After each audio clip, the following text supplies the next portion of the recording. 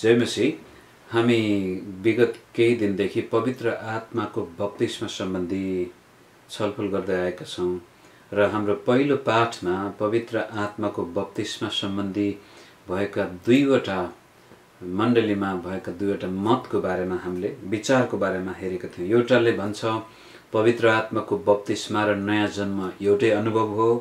अर्कोले भन्छ पवित्र आत्माको बत्तिसमा र नयाँ जन्म दुईवटा छुट्टा छुट्टै अनुभवहरू हुन्। नयाँ जन्म पाइसकेको व्यक्तिले मात्रै पवित्र आत्माको बत्तिसमाको अनुभव गर्छ भन्ने एउटा पक्ष छ भने अर्को पक्षले भन्छ होइन नयाँ जन्म नै पवित्र आत्माको बत्तिसमा हो।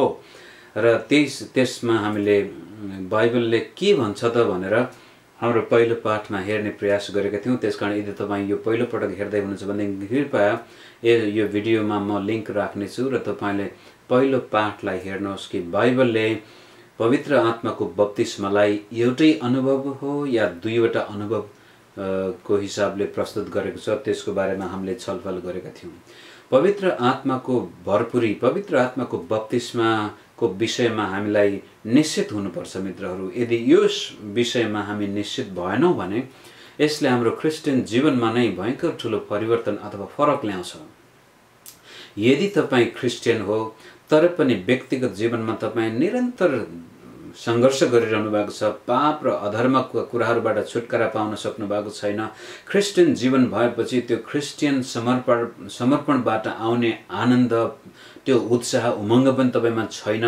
र बाइबल पढ्दाखेरि पनि एक किसिमको तपाईँलाई अल्छी लाग्ने मण्डलीमा जाँदा पनि खासै रमाइलो नलाग्ने सुसमाचार प्रचार गर्नको लागि पनि जाँगरै नआउने परमेश्वरका कुरातिर मन लाउँदाखेरि एकदमै अल्छी तपाईँलाई लाग्छ भनेदेखि मित्रहरू सायद तपाईँले वास्तवमा पवित्र आत्माले दिने जुन प्रकारको तागत अनि बल छ जुन शक्ति छ जुन सामर्थ्य छ त्यसको अनुभव गर्नुभएको छैन। किनभनेदेखि जब पवित्र आत्माबाट कोही मानिस भरपुरी हुन्छ जब पवित्र आत्माको शक्ति र सामर्थ्य कुनै मानिसले अनुभव गर्छ भनेदेखि त्यो मानिसमा एक किसिमको अलौकिक जीवन नै उत्पन्न हुँदछ। त्यसै कारण यो पवित्र आत्माले भरिनु र नभरिनुमा एउटा विजयी जीवन जिउनु र नजिउनुमा फरक पर्दछ मित्रहरू। यस विषयमा तपाईँले एकदमै ध्यान दिनुहोस्। अब आज म के भन्न गइरहेको छु भने पवित्र आत्माको बत्तिसमा र नयाँ जन्ममा के सम्बन्ध छ त? जब कुनै कुनै मित्रहरूले हामीलाई पवित्र आत्माको बत्तिसमा र नयाँ जन्म एउटै अनुभव हो भन्छन् कसै कसैले चाहिँ पवित्र आत्माको बत्तिसमा एउटा र नयाँ जन्म अर्को अनुभव भन्छन्। र यो आपसमा बाँझेको छ। र यो बाइबलमा हामी कसरी चाहिँ यसलाई समाधान गर्न सक्छौँ त? यदि मैले पवित्र नयाँ जन्म पाइसकेपछि पवित्र आत्माको भरपुरी पाउने हो पवित्र आत्माको शक्तिको अनुभव गर्ने हो भनेदेखि मेरो नयाँ जन्मको र पवित्र आत्मासँगको सम्बन्ध के छ त भनेर एउटा दृष्टिकोण आज हामी हेर्नेछौँ र त्यसपछि यदि समय भएको खण्डमा पवित्र आत्माको भरपुरी किन चाहिन्छ?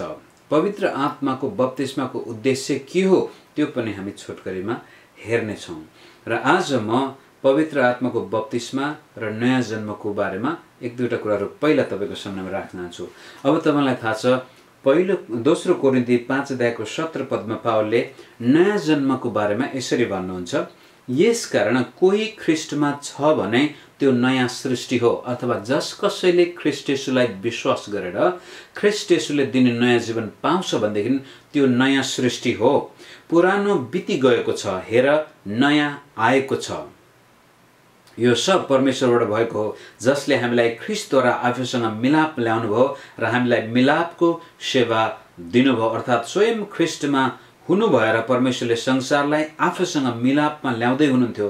तिनीहरूका अपराधका लेखा नलिएर मिलाप गराउने कामको सन्देश उहाँले हामीलाई सुम्पिदिनु भएको छ। यहाँनिर दुईवटा कुराहरू हेर्नुपर्ने। एउटा कुरो परमेश्वरले हामीलाई ख्रिस्टमा मिलाप आफूसँग गराउनु भएको छ भनेदेखि अब जब हाम्रो मिलाप परमेश्वरसँग भएको छ भने त्यसपछि त्यो मिलापको सन्देश प्रचार गर्ने जिम्मा हामीलाई दिनुभएको छ। र जब हाम्रो मिलाप परमेश्वरसँग हुन्छ त्यसलाई नयाँ सृष्टि भनिएको छ। यसकारण कोही ख्रिस्टमा छ भने त्यो नयाँ सृष्टि हो। यदि तपाईँले नयाँ गरी जन्म पाउनुभयो भनेदेखि त्यतिखेर तपाईँको नयाँ सृष्टि भयो।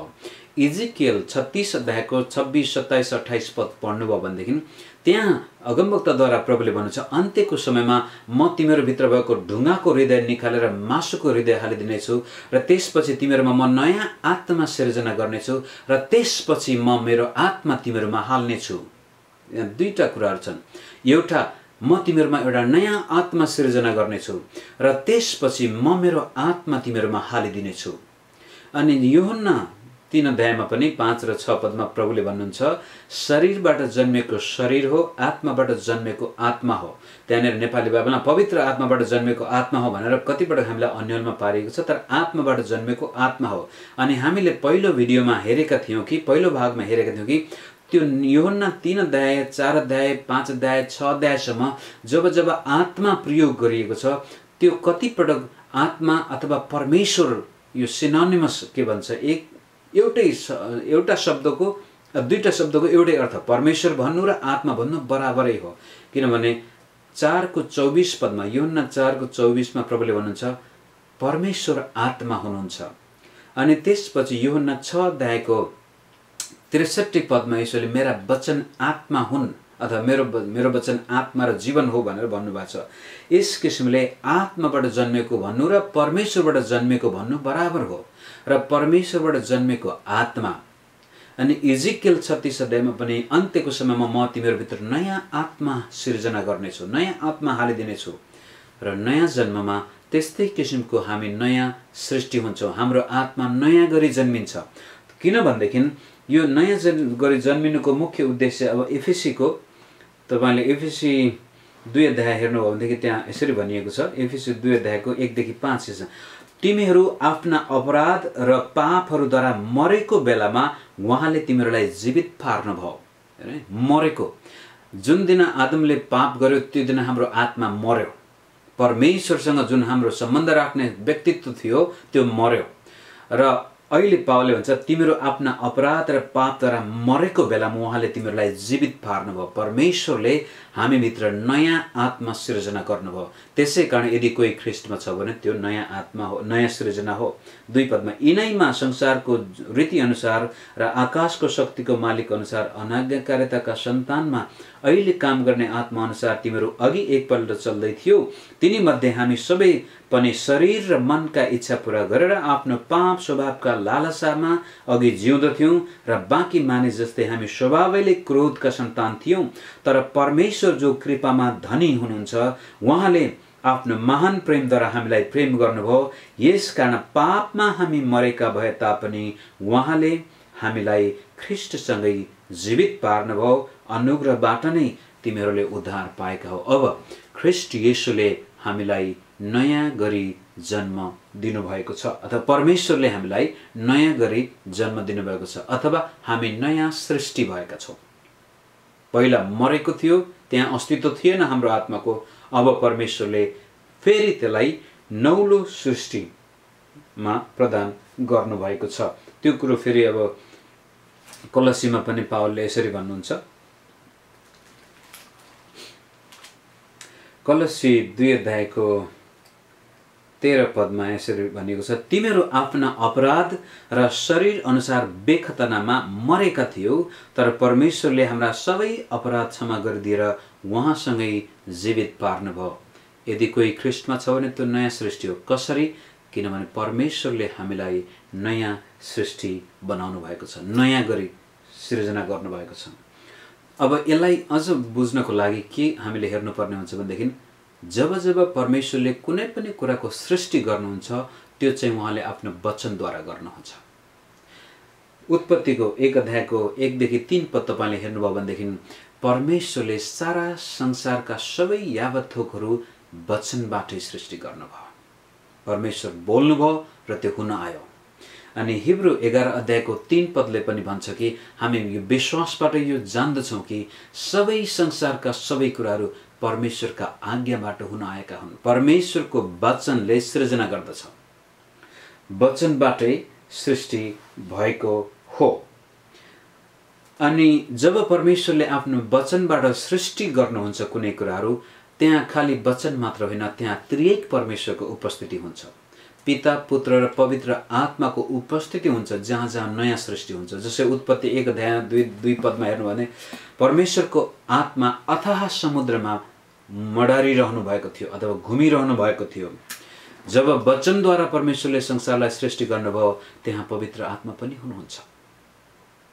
त यो कुरोलाई बुझ्नको लागि फेरि लुकाको सुसमाचार त्यसको दुई अध्यायमा जानुभयो भने त्यहाँ यीशु ख्रिस्टको जन्मको बारेमा पनि हामी केही कुराहरू बुझ्न सक्छौँ। त्यसै यो दुई लुका दुई अध्यायको तिर चौतिसदेखि अडतिस पदसम्म हामी हेरौँ।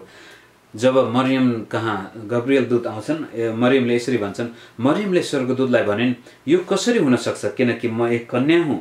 स्वर्गदूतले तिनलाई जवाब दिएर भने पवित्र आत्मा तिमीमा आउनुहुनेछ र सर्वोच्चका शक्तिको छाया तिमीमाथि पर्नेछ।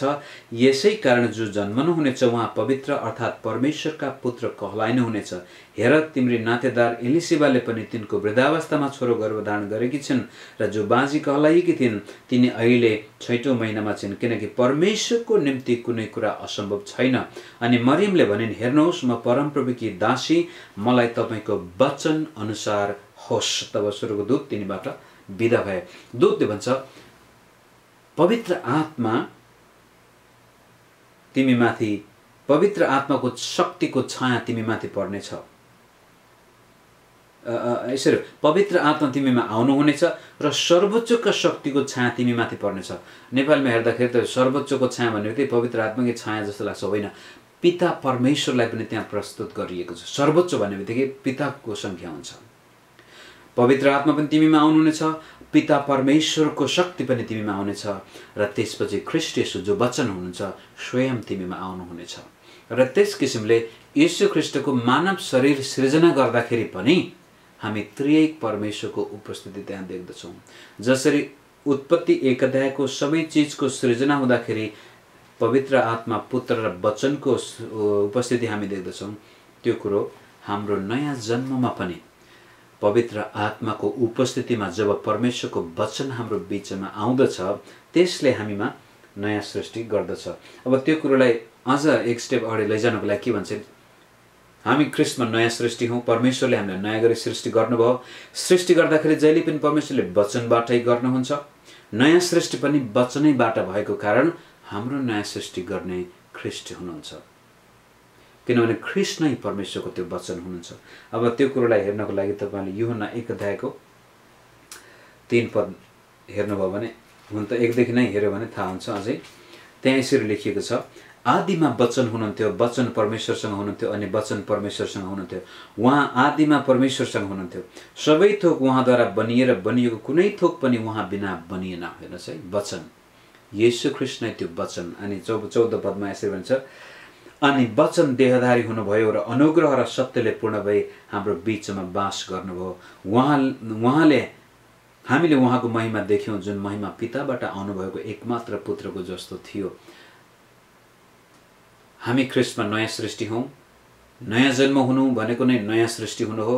सृष्टि परमेश्वर पिता पुत्र पवित्र आत्माको सङ्गम तिनै त्रिएक परमेश्वरले गर्नुहुन्छ र विशेष गरी सृष्टि गर्दाखेरि वचन क्रियाशील देखिन्छ। त्यो वचन ख्रिस्ट हो। त्यसै कारण हाम्रो नयाँ जन्ममा पनि ख्रिस्टको बढी योगदान हामी देख्दछौँ। ख्रिस्टले हामीलाई नयाँ गरी जन्म दिनुहुन्छ। ख्रिस्ट त्यो परमेश्वरको वचन हुनुहुन्छ र त्यही वचनबाटै हाम्रो नयाँ सृष्टि भएको छ। कलसी एकद्याको स्वरूपदमा हेर्नुभयो भनेदेखि भएको कुनै पनि कुराहरू उहाँ बिना भएको छैन सृष्टि गरिएको छैन।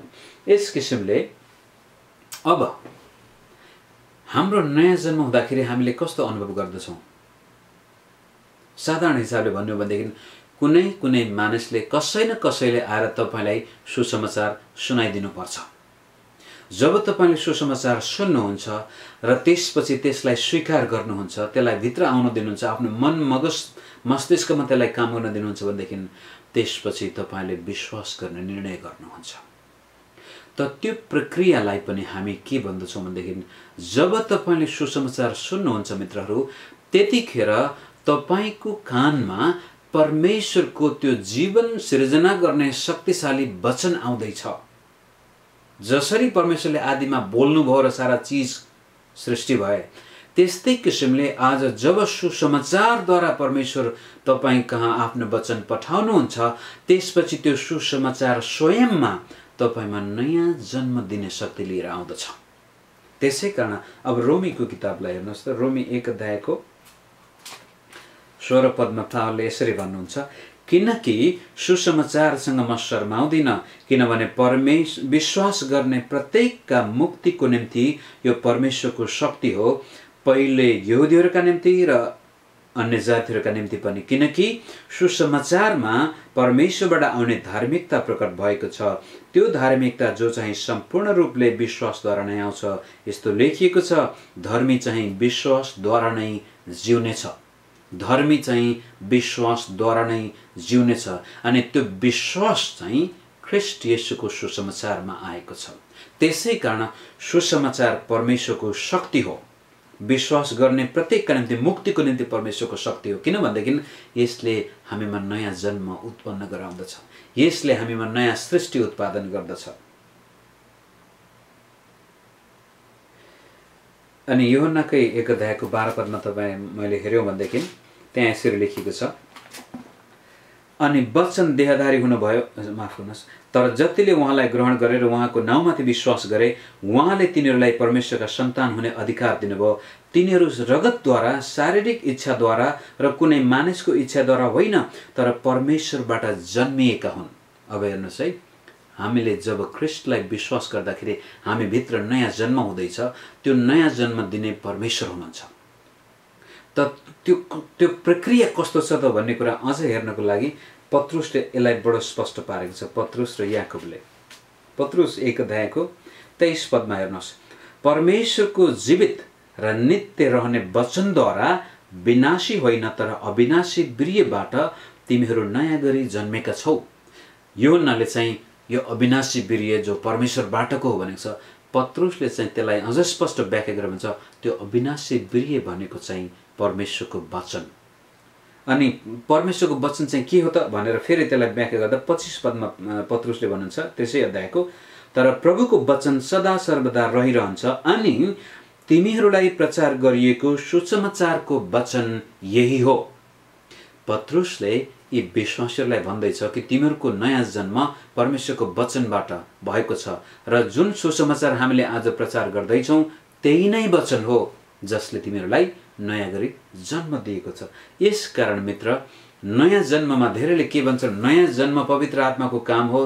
त्यस कारण नयाँ जन्म पाएको मान्छे स्वयंलाई अब पवित्र आत्माको अर्को कामको आवश्यकता छैन भन्छन्। तर यो कतिपटक हामीले पवित्र नयाँ जन्ममा पिता पुत्र पवित्र आत्मा स्वयं उपस्थित हुनुहुन्छ र त्यसमा पनि विशेष गरी वचनले यतिखेर हाम्रो जीवनमा सृजना गर्ने काम गर्दैछ। किनभनेदेखि जबसम्म हामी नयाँ गरी जन्मिँदैनौँ जबसम्म हामीभित्र नयाँ आत्मा सिर्जना हुँदैन तबसम्म हामी पवित्र आत्मासँग सम्बन्धै राख्न सक्दैनौँ। कतिपटक मान्छेले के भन्छन् विचार गर्लान् विश्वासीहरूले के विचार गर्लान् भने नयाँ जन्म पाउनु भनेको पव्य परमेश्वरको आत्मा हामीभित्र बास होज्नु होइन मित्रहरू। हामीमा मानव आत्मा सृजना हुनु हो नयाँ जन्म भनेको। हाम्रो जुन मरेको आत्मा थियो त्यो जन्म्यो। हामी अब आत्मिक प्राणी भयौँ नयाँ गरी जन्मेका प्राणी। जब हामी आत्मामा नयाँ गरी जन्मिन्छौँ त्यसपछि बल्ल हामी पिता पुत्र र पवित्र आत्मासँग सम्बन्ध राख्न सक्ने हुन्छौँ त्यसै कारण नयाँ जन्म एउटा अनुभव हो त्यो चाहिँ जन्मिने अनुभव परमेश्वरबाट जन्मिने। जन्मिँदाखेरि हामीलाई थाहा हुँदैन परमेश्वरले काम गर्ने काम हो। हामी कसरी जन्मिन्छौँ जन्मिँदाखेरिको अनुभव नै हामीलाई थाहा हुँदैन। हामी त मरेका थियौँ। त्यो सब काम प्रभु स्वयंले वचनद्वारा गर्नुहुन्छ जब जब सुसमाचार हाम्रो कानमा छिर्दछ रोमी दस अध्यायको सत्र पद यहाँनिर फेरि महत्त्वपूर्ण छ। पावलले सुसमाचारकै बारेमा त्यहाँनिर भन्दै थिए। तपाईँ हेरिहाल्नुहोस् रोमीको दस अध्याय।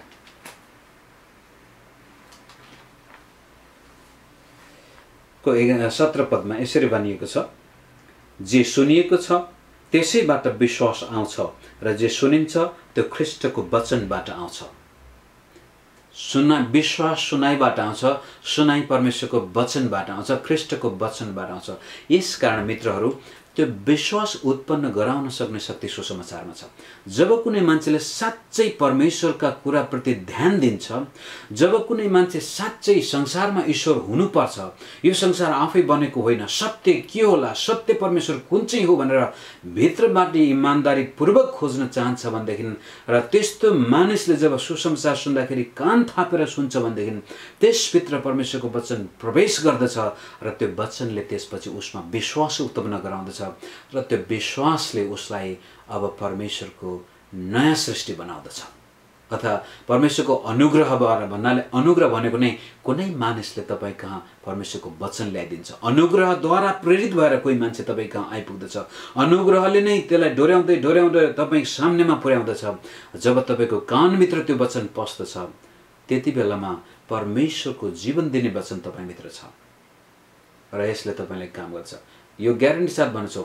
इमान्दारपूर्वक सुसमाचार सुन्ने मानिसले एक दिन अवश्य मुक्ति पाउँछ। तर ती मान्छेले मुक्ति पाउँदैनन् जसले परमेश्वरको वचन सुन्नै चाहँदैनन्। ती मानिसले कहिले पनि उद्धार पाउँदैनन् जो विचारै नगरिकन बाइबलको विरोध गर्दछन् क्रिस्चियनहरूको विरोध गर्दछन्।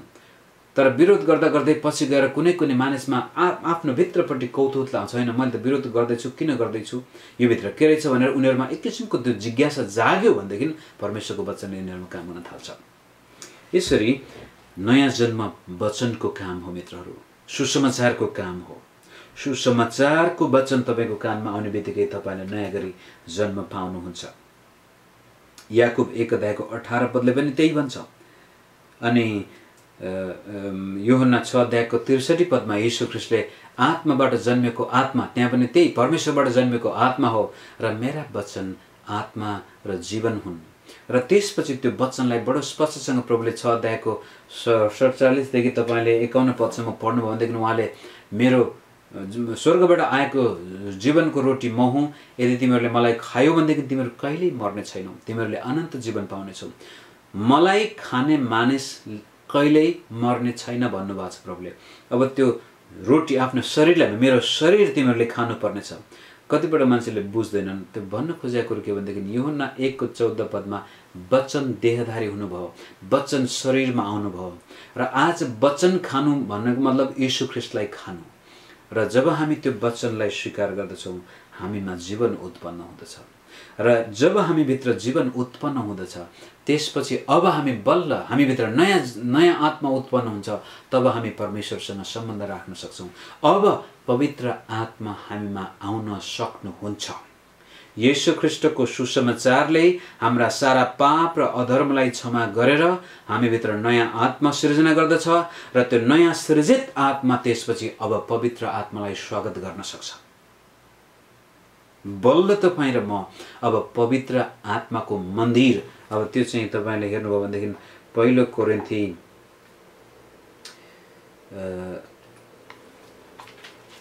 तिन अध्यायको सोह्र पद दोस्रोमा हेर्नुहोस्। पहिलो कोरिन्थी तिनको सोह्र हेर्नुहोस्। त्यहाँ यसरी भनिएको छ के तिमीहरूलाई थाहा छैन तिमीहरू परमेश्वरका मन्दिर हौ? र परमेश्वरका पवित्र आत्मा तिमीहरूमा बास गर्नुहुन्छ। कसैले परमेश्वरको मन्दिरलाई नष्ट गर्छ भने परमेश्वरले त्यसलाई नष्ट गर्नुहुनेछ किनकि परमेश्वरको मन्दिर पवित्र हुन्छ र त्यो मन्दिर तिमीहरू नै हो। यो चाहिँ मण्डलीको बारेमा। जब विश्वासहरू जम्मा हुन्छन् त्यो पवित्र आत्माको मन्दिर मण्डली पनि पवित्र आत्माको मन्दिर हो। कसैले मण्डलीलाई विनाश गर्छ भने परमेश्वरले त्यसको विनाश गर्नुहुनेछ अब छ अध्यायको उन्नाइस बिस पद हेर्नुहोस् त। त्यही पुस्तकको त्यहाँ यसरी लेखिएको छ। तिमीहरू शरीर तिमीहरूको शरीर पवित्र आत्माको मन्दिर हो। जुन पवित्र आत्मा तिमीहरूले परमेश्वरबाट पाएका छौ र उहाँ तिमीभित्र बास गर्नुहुन्छ भन्ने के तिमीहरूलाई थाहा छैन? तिमीहरू स्वयं आफ्नै होइनौ तिमीहरू मोल तिरेर किनिएका हो। यस कारण तिमीहरूका शरीरमा परमेश्वरको महिमा गर। जब तपाईँ र मभित्र सुसमाचारले जुन पवित्र आत्माको प्रेरणामा प्रचार गरिएको हुन्छ त्यो हामी एकछिनपछि छुनेछौँ त्यो विषयमा। जब सुसमाचार तपाईँमा आउँछ त्यसले तपाईँमा नयाँ गरी जन्म दिन्छ। परमेश्वरको वचनले तपाईँलाई नयाँ सृष्टि गर्दछ। अब तपाईँमा नयाँ सृष्टि भएको आत्माले अब स्वयं पवित्र आत्मालाई स्वीकार गर्दछ। पवित्र आत्मालाई स्वीकार गर्नु पवित्र आत्माको मन्दिर बन्नु भनेको मतलब परमेश्वरको उपस्थिति हाम्रो जीवनमा हुन्छ अब। अब चाहिँ हामी वास्तविक परमेश्वरसँग सङ्गति गर्न सक्ने व्यक्ति भएका छौँ। परमेश्वरको मन्दिरको मतलब हो परमेश्वर हामी सँगसँगै अब रहनुहुन्छ। पवित्र आत्माको मुख्य उद्देश्य हाम्रो जीवनमा परमेश्वरको उपस्थिति ल्याउनु हो। र त्यो उपस्थितिले हामीलाई दुईवटा कुरा गर्दछ। जब पवित्र आत्माको उपस्थिति ममा छ जब पवित्र आत्माको साक्षात् उपस्थिति ममा छ भने यसले दुईवटा कुरा गर्छ। पहिलो कुरो यसले मलाई पवित्र जीवन बिताउन शक्ति गर्दछ शक्ति दिन्छ। यीशु ख्रिस्टले भन्नुभएको छ जबसम्म तिमीहरूले पवित्र आत्मा पाउँदैनौ माथिबाटको शक्ति प्राप्त गर्दैनौ माथिबाटको प्रतिज्ञा प्राप्त गर्न सक्दैनौ तबसम्म यरुसलेम छोडेर कहीँ नजानु भन्नुभएको थियो चेलाहरूलाई त्यस्तै किसिमले हामीमा पनि जब पवित्र आत्मा आउनुहुन्छ त्यसपछि उहाँले हामीलाई पवित्र जीवन बिताउन मद्दत गर्नुहुन्छ। त्यसपछि पवित्र जीवन बिताउनको लागि चाहिने सबै कुराहरू प्रभुको आत्मा स्वयंले हामीलाई दिनुहुन्छ। र तीमध्ये महत्त्वपूर्ण महत्त्वपूर्ण पवित्र जीवन बिताउनको लागि महत्त्वपूर्ण हतियार हो परमेश्वरको वचनप्रतिको तृष्णा भोग प्रेम। जब कुनै मान्छे पवित्र आत्माले भरिन्छ त्यो मान्छेलाई त्यसपछि परमेश्वरको वचन औधी नै मनपर्छ। ऊ परमेश्वरको वचनको लागि भोकाउँछ अनि तिर्खाउँछ र त्यसपछि ऊ परमेश्वरको वचन खान थाल्छ। अनि जब कुनै मानिस रा निरन्तर आफ्नो जीवनमा परमेश्वरको वचन खान्छ भनेदेखि त्यसपछि उसमा पवित्रता धार्मिकता र पवित्र आत्माका फल देखा पर्न थाल्दछन्। कतिपटक मान्छेहरू पवित्र आत्मा आएपछि चाहिँ अगमबाणी बोल्ने अन्य भाषा बोल्ने इत्यादिमा त त्यो होइन मित्र पवित्र आत्माको पहिलो प्रमाण चाहिँ हो हामी परमेश्वरको वचनप्रति भोकाउँछौँ। किनभने यो हामी नयाँ गरी जन्मेका छौँ अब हाम्रो सम्बन्ध परमेश्वरसँग स्थापित भएको छ र त्यो स्थापित सम्बन्धलाई कायम राख्नको लागि चाहिन्छ आत्मिक भोजन। त्यो भोजन चाहिँ परमेश्वरको वचन हो। पहिलो कुरो चाहिँ परमेश्वरको वचनप्रति हामी भोकाउँछौँ तिर्खाउँछौँ। जब परमेश्वरको वचनप्रति हामी भोकाउँछौँ तिर्खाउँछौँ परमेश्वरसँग हाम्रो त्यसमा सम्बन्ध गजबको गहकिलो हुन्छ परमेश्वरको प्रेम हाम्रो हृदयमा त्यसपछि आउन थाल्छ। पवित्र आत्माको अर्को दोस्रो प्रमाण चाहिँ हो हामी प्रेमले भरिएका मानिस हुन्छौँ। प्रेम परमेश्वरप्रतिको प्रेम र त्यसपछि मानिसप्रतिको प्रेम। पवित्र आत्माले भरिएको मानिसको जीवनमा प्रेमको लक्षण देखा पर्दछ। परमेश्वरलाई प्रेम अनि मानिसलाई प्रेम। जब हामी मानिसलाई प्रेम गर्दछौँ त्यसपछि अब हामी सुसमाचार प्रचार गर्न तयार हुन्छौँ। जबसम्म पवित्र आत्माले हामी भरिँदैनौँ तबसम्म मानिससँग मानिसप्रति हाम्रो खासै त्यति सरोकार हुँदैन। हो बेला बखतमा हामी चाहन्छौँ सुसमाचार सुनाए राम्रो हुन्थ्यो भन्छौँ तर जब तपाईँ साँच्चै पवित्र आत्माले भरिनुहुन्छ भनेदेखि त्यसपछि सडकमा हिँड्ने तपाईँको घर परिवारमा बस्ने जुन कुसुकै मित्रहरू किन नहुन् यदि उहाँहरूले यसोलाई चिन्नु भएको छैन भनेदेखि तपाईँको भित्र आत्मामा तपाईँलाई चोट लाग्छ। र तपाईँ प्रार्थना गर्नुहुन्छ प्रयास गर्नुहुन्छ कसरी हुन्छ ती मित्रहरूलाई परमेश्वरको प्रेममा ल्याउन चाहनुहुन्छ। त त्यसको लागि चाहिन्छ अब शक्ति। त्यस कारण पहिलो कुरो परमेश्वरको आत्मा जब हामीमा आउनुहुन्छ जब पवित्र आत्माले हामी भरिन्छौँ पवित्र आत्माको बत्तिस्माको अनुभव हामी गर्छौँ भनेदेखि यसले हामीलाई व्यक्तिगत जीवनमा पवित्रता साथ धार्मिकता साथ जिउन मद्दत गर्छ। अङ्ग्रेजी शब्दमा साइन्टिफिकेसन भन्छौँ।